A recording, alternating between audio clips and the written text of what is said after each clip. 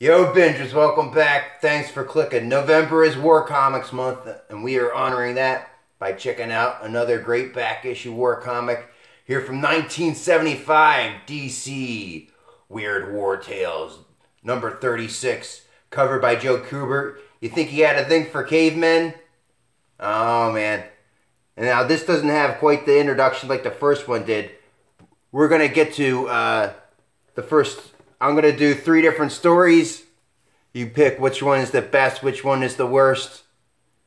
And the first one is is kind of you'll you'll see the cover here. Here, let's get into it. Twelve thousand years ago. The sun beats down unmercifully as seven weary men trudge slowly across the desert sands of Africa. They have been without water for more days than they want to remember and now the sun is almost directly overhead. They look for shelter, but all they see is an endless ocean of sand. All they think about is dying until they find the pool. Story by Len Wein and Marv Wolfman. Art by Russ Heath. 1943 AD.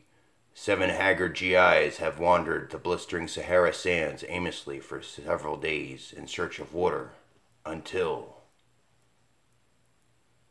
the thirst of many days is soon forgotten as they languish in the water, the refreshing water, the cool water, for the pool belongs to them, as it has belonged to others a long time ago others who drank and swam and played and laughed, and they wondered how they died. No, and it's raining again, but don't worry about that because it doesn't rain in the army. It rains on the army. Above them, hungry eyes peer from a weathered face. Parched lips that have tasted only the dry desert sands yearn for the salvation seen below. The pool must be theirs. And when you want something, there's only one way to get it. Take it. Fight for it. Make it your own. Desperate men throw caution to the wind. Drowning men clutch at straws, but dying men will fight for life. And soon they fight for the pole. Check out that panel right there. But every prize has its price.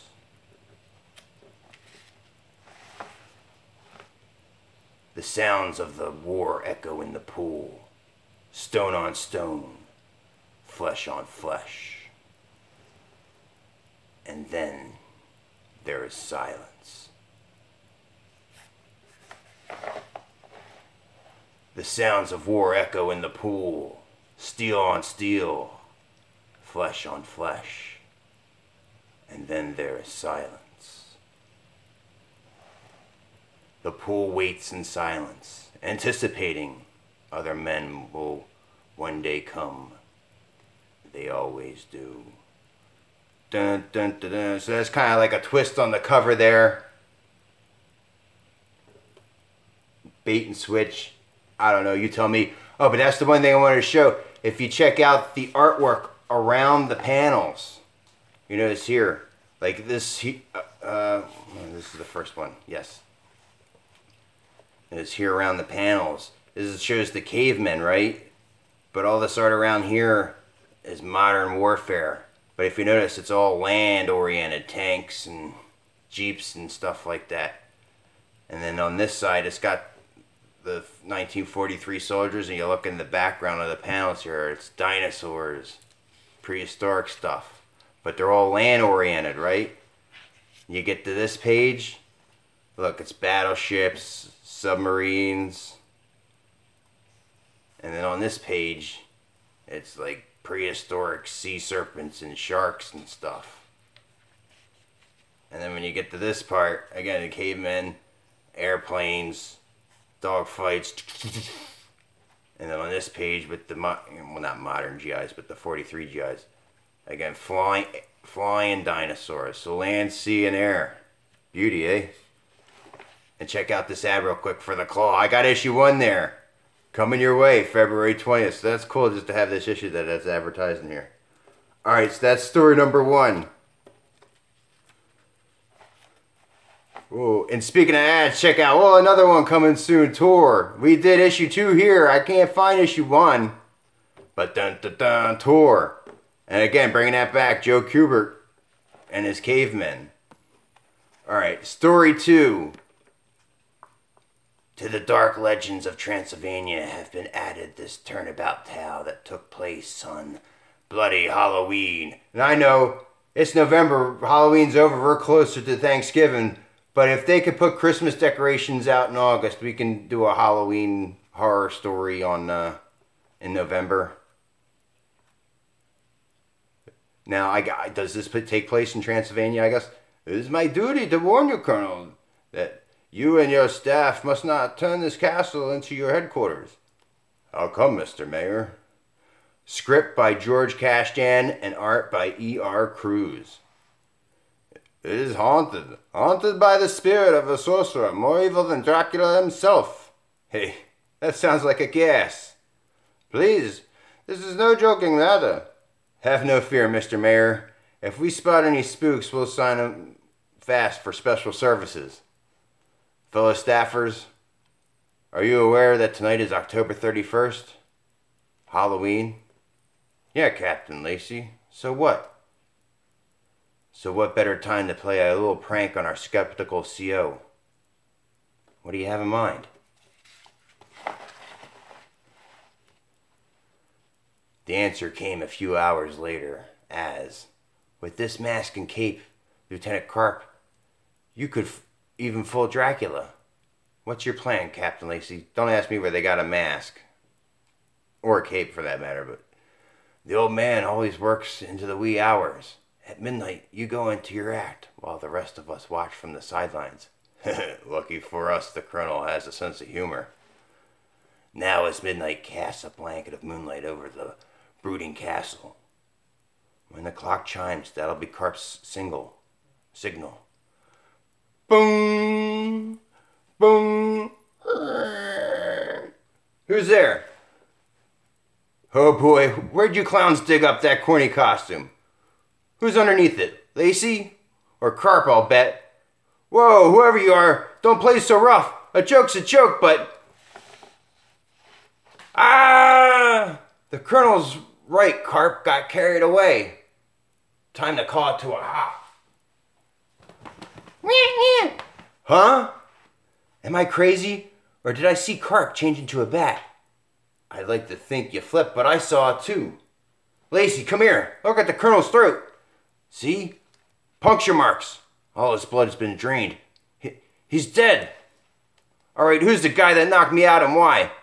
Carp, you, you mean someone knocked you cold? Yeah, just before midnight when I was about to go into my act. Dun dun dun dun, the end. There's our letters page. Let you see the artwork there again, whole page. All right, there's story two. And then here's story three The Day After Doomsday. The bombs fell on Wednesday. By Friday, the world was still. The growing rain ceased later, what would have been that afternoon, if there had still been time, or clocks to keep it. Neither clouds nor birds filled the crimson sky, and the sun set alone. All was silent, and so it remained until sometime the following Tuesday, when a small pile of crushed brick and gravel in a lot on West 47th Street shuddered and moved, and a hand rose from the wreckage. The figure rose up on uncertain feet and dusted itself off. The last man on earth turned and surveyed his kingdom. God, look at it. Nothing but rubble as far as the eye can see. We really did it up proud this time, didn't we? Here I stand, the last man on earth, ruler of a kingdom of vanished fools. The last man on earth walked the shadow strewn streets with only the echo of his footsteps and the sound of his breathing to keep his company. Lord, what a joke! Ten thousand years of striving for the sun, and man ends it like this. I wonder if. Dear heaven, there's someone else alive! The last man on earth died behind the ruins and it, it's a girl. No, stop! You don't know what you're doing. Who are you and what do you want with me? I'm the last man on earth, just as you are the last woman. Well, this guy's making a lot of assumptions. I mean you no harm. I'd just like to speak with you. Don't come any closer or I'll shoot. I mean it. If you pull that trigger, everything man has ever tried for, everything he's ever dreamed will drown in the pool of my blood. You know I won't hurt you. Why don't you just hand the gun here? You, you're right. I guess I couldn't kill you. Good girl. The world is ours now. It's up to us to correct the mistakes of the rest. To begin the new dawn of man. By the way, my name's Adam. Really? My name's Gertrude. The last man and woman on earth turned hand in hand and walked off towards the growing colors of the sunset.